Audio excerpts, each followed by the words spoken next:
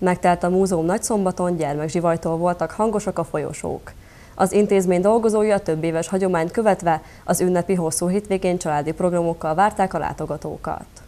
Borongós időjárás, szemerkélő eső jellemezte idén a nagy szombatot, a húsvét előtti bevásárlás és rohanás ellenére rengetegen érkeztek a múzeum programjára.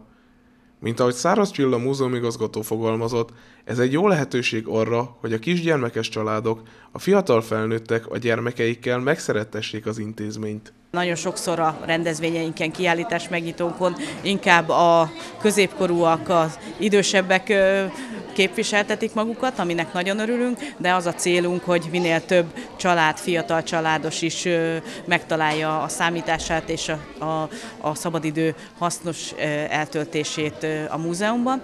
A szülőket egy ideiglenes kamarakiállítás várta, hiszen a múzeumnak nagyon gazdag gyűjteménye van a húsvéti hagyományok, szokások és a tojásfestés kapcsán.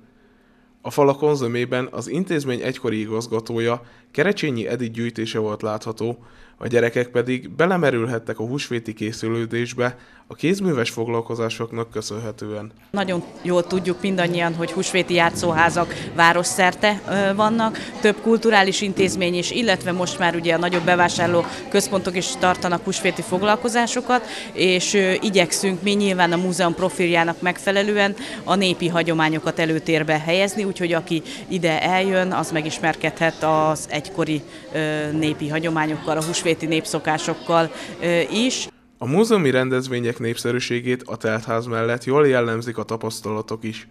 Az intézmény munkatársai szerint vannak törzslátogatók, akik évről évre élnek a lehetőséggel, és az intézmény falai közt készülődnek az ünnepre. Ám emellett minden esztendőben érkeznek új érdeklődők is a programokra.